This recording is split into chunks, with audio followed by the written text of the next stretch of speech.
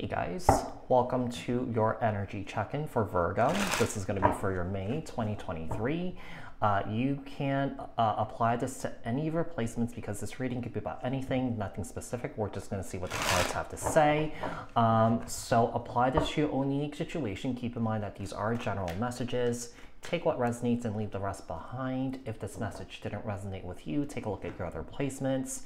Keep in mind that these are collective messages for the collective. Um, Virgo people, not tapping into one specific person's energies in particular. If you're looking for a reading tailored to your specific unique situations and your energies, I suggest you to um, book a personal reading with me. The link for that is in the description box below like, share, comment, subscribe, hit the notification bell so that you guys get notified on when my new videos post and when I go live, okay?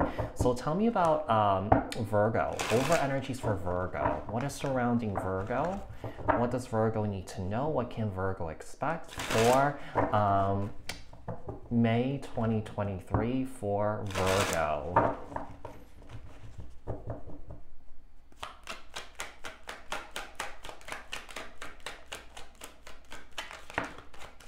You have the lovers in the reverse. Hmm. The sun. You know, this is so interesting. I feel like, you know, it could be a situation that you could have broken up with someone here, separated from someone here, and I feel like this was a blessing. And I feel like you're feeling happier about it or that you're happy that you made this deci- made a decision to end a relationship here with somebody. Okay, so uh, Cancer, Pisces, uh, Cancer, uh, not Cancer, Gemini energy with the uh, lovers in the reverse, the Sun, Leo energy here. We have the uh, Queen of Cups and the Two of Cups here. There's a relationship that you don't want to touch anymore. You don't want to deal with it, uh, deal with it anymore. Look how this Queen of Cups is turned away from this Two of Cups. This is something that you don't want to emotionally invest in. And I feel like there is an energy of you wanting to just focus on your happiness, focus on your healing, focus on your spiritual path, okay?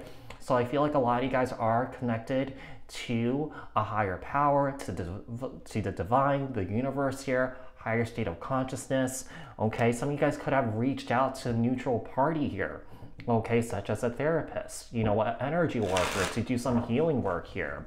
All right, tell me about the lovers. Why is the lovers here? So the Hierophant Taurus energy, the star card here, Aquarius energy, the lovers in the reverse, the Eight of Swords, the Sun card here, and the King of Wands. There was someone that you were dealing with here. I just feel like the relationship that you're in with this hurt person uh, I, I, just feel like you were in constant fear or that you, you know you felt stuck you felt trapped you were not happy. This person could have been very controlling towards you. You know i feel like this person kept a very tight leash on you. I just feel like there was a lack of freedom and a lack of independence and i feel like you're finding that again okay? I feel like you could have lost yourself in this relationship by pleasing this person, okay? The King of Wands, Aries, Leo, Sag. Tell me about the Queen of Cups here. Why is the Queen of Cups here? Page of Swords, Libra, Aquarius, Gemini. Tell me the Two of Cups. Why is the Two of Cups here? And the Emperor here, Aries energy. You know, I feel like whoever this uh, masculine energy is, I do feel like this masculine energy is spying on you whoever this is, I do feel like this individual, you know, is kind of like maybe losing their minds because they're they've lost control of you. Okay, uh, the Emperor Aries energy page of Swords, Libra, Aquarius, Gemini. You know, one of the things I'm getting here is that you guys sort of like might have disappeared from this individual. The Hierophant, Seven of Pentacles, Star card, and the Knight of Pentacles. You know, I feel like you you began this process of healing here. I feel like you're right now you're investing in yourself. Okay, I feel like you're trying to be patient with yourself, and I feel like you're trying to trying to take your sweet old time in this healing journey that you're on. And I feel like what led to this healing journey is going through this crazy relationship here with somebody. Okay, so the Seven of Pentacles here and the Knight of Pentacles here, Capricorn, Taurus, Virgo. Know, I feel like also some of you guys are searching for your that higher purpose in your life right now. you know, what you're meant to do, what you're meant to do in this lifetime. You're searching for that right now, uh, uh, Virgo. Okay. Uh, so I feel like there's a deep investment into that your healing, your personal growth, your spiritual growth, you know, you know, seeking that higher purpose in your life. You know, it's kind of like almost like an energy of like there is more to this than what I'm experiencing right now and what I'm going through right now, you know. So uh, what else do we have here for Virgo? What else do we have here for Virgo? Outcome and advice here for Virgo. What does Virgo need to know? Look out for, work on here for May 2023.